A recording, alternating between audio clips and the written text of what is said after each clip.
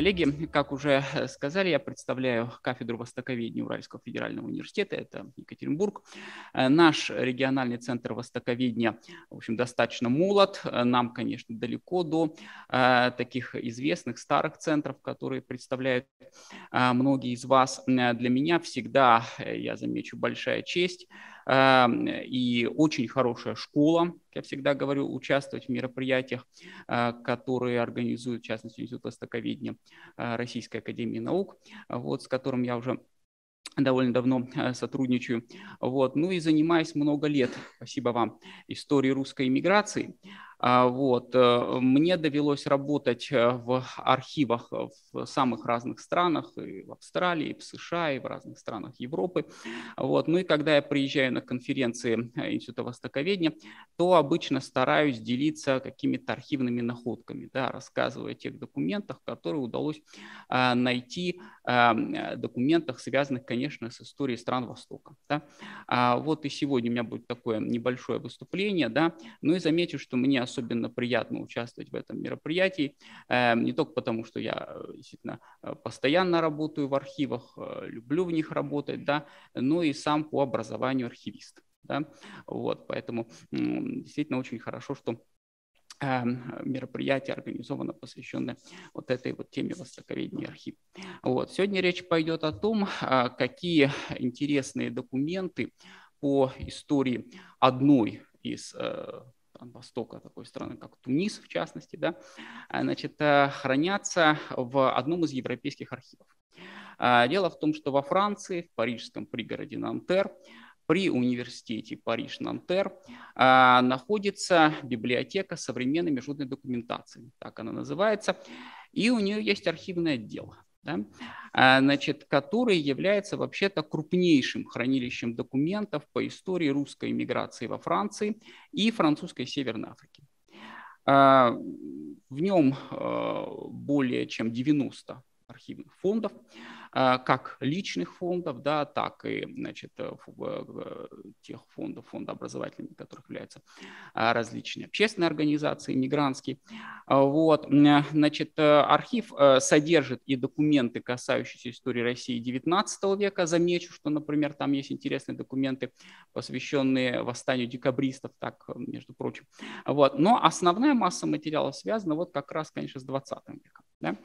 А, в частности, э, в архиве хранятся интересные документы, э, посвященные формированию казачьих станиц э, во французской Северной Африке в 20-30-е годы. Это, например, кубано-африканская станица в Тунисе, да, во главе которой долгое время находился инвалид гражданской войны, эм, э, полковник кубанского казачьего войска Белый.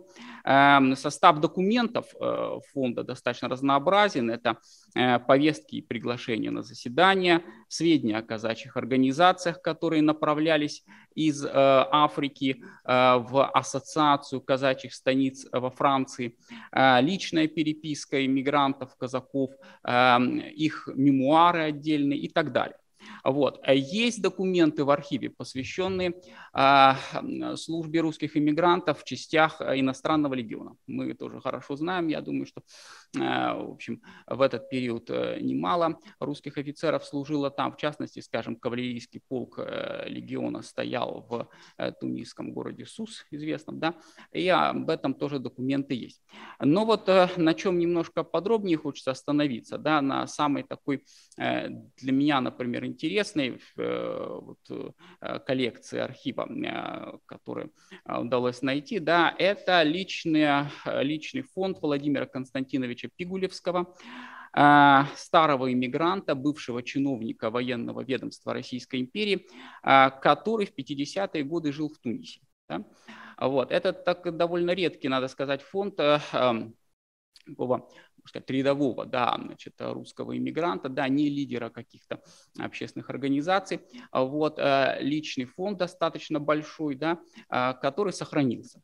Значит, в фонде хранится, ну, во-первых, его весьма объемная рукопись мемуаров как раз о тунисском периоде жизни. Она так, в общем, и называется в Тунисе. Я вот о ней немножко поподробнее скажу.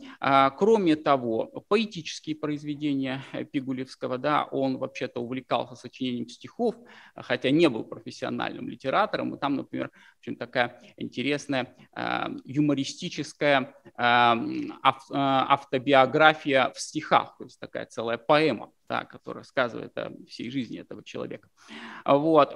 Кроме того, интересно, что он увлекался и сочинением сказок э, с такими эм, элементами арабской экзотики, да, так вот он в 30-е годы э, написал сказки Муздамар и Дахия, да, э, значит, рукописи которых тоже хранятся, э, значит, вот в его фонде. Вот.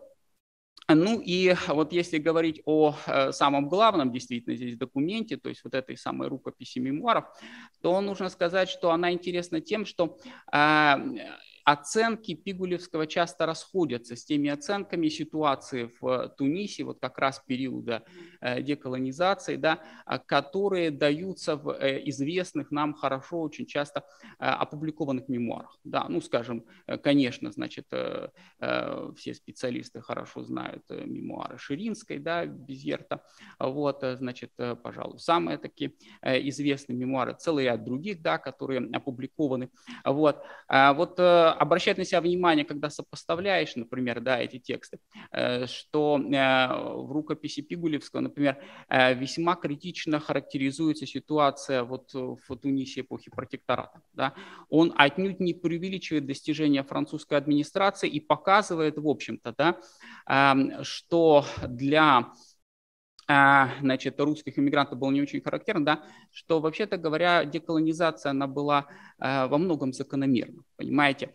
А, резкой критике подвергает, например, социальную политику французов, да, пишет, вот я так процитирую даже, да, в Тунисе не было никакого социального обеспечения, потому работай до смерти или подыхай под забором, если не успел себя самообеспечить, да. То есть вот э, таков он Тунис эпохи французского протектората, да, глазами, значит, э, русского иммигранта. Вот. Э, значит, э, ее воспоминания показывают, что в ее восприятии некий перелом происходит в 50-52 годах. Да? Как он пишет, повеяло другим духом. Люди начали чувствовать себя здесь неуверенно, незаметно исчезали из Туниса, потихоньку переводили деньги в иностранные банки, продавали дома и так далее. Да? Вот. Изменения чувствовались и в том, что директором библиотеки, где работал Пигулевский, значит, стал пожилой араб, а сотрудниками его молодые соотечественники, которые окончили университеты во Франции, были настроены радикально. Но вот при этом очень любопытен тот момент, что в отличие от э, большинства эмигрантов-мемуаристов, да, вот если брать, скажем, опубликованные э, многие мемуары, да, э, значит, Пигулевский показывает, что далеко не всегда радикальная арабская интеллигенция негативно относилась к русским. Да? А далеко не всегда она их ассоциировала с французами, а очень часто как раз э, отделяла от французов. Да? Более того, он э, был старым человеком, да, значит, э, уже, и пишет о том, что молодые арабские радикалы даже часто предупреждали его о том, что в городе ожидаются беспорядки. Понимаете? То есть, э, ну, заботясь о его безопасности, да, вот, э, э, смотрели, он пишет, э, на него как на человека, сочувствующего арабов. Да. Постепенно ситуация в Тунисе стала накаляться, и об этом как раз немало, конечно, страниц э, в этих записках. Они вот темы интересны, что показывают, как э, значит, происходит этот процесс деколонизации. Да. Народ в городе стал как-то вызывающий дерзок, пишет Пигулевский, особенно женщины, они нахально лезли в трамваи, на улицах идут и не дают прохода, э, в котле начинается кипение. Да, и вот дальше, значит, а, масса страниц, э, посвященных и использованию насильственных методов, да, тунисскими радикалами, и теракты описываются, и, значит, э, митинги и шествия, причем действительно, ну, интересные такие сюжеты, которые корректируют, надо сказать, вот а, некоторые оценки, которые были распространены а, вот как в советской историографии, да, а, значит, так и в, э, с другой стороны в тех же мемуарах иммигрантов, о которых я уже говорил, да.